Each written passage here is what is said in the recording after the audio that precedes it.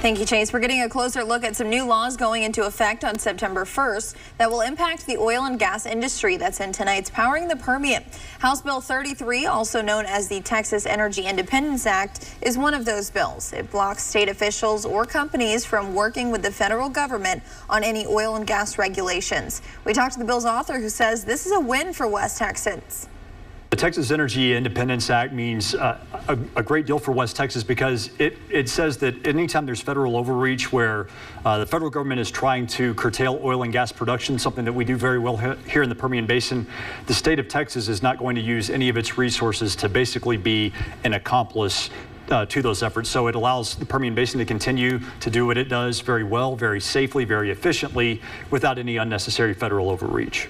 That's not the only one of Landgraf's bills that will go into effect Friday. There's also the Energy Choice Act, which bans local governments from banning or limiting access to gas, diesel, or any other fuel source. We asked him, should West Texans be worried?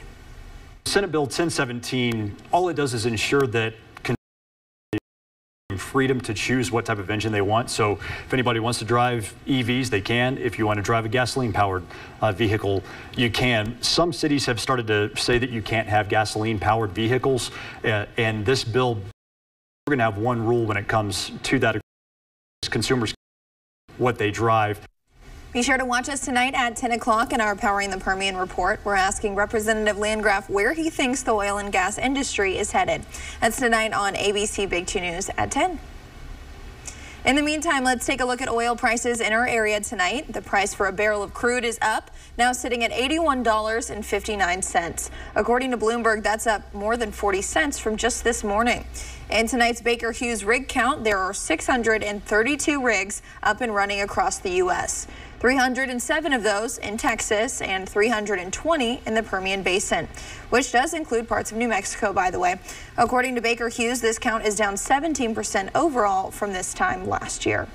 Meanwhile, gas prices are on the way up across West Texas. Right now, the average for a gallon of gas is sitting just around $3.40. You can read all about the stories for the industry that keeps West Texas running right now on yourbasin.com. All you have to do is click on that Powering the Permian tab.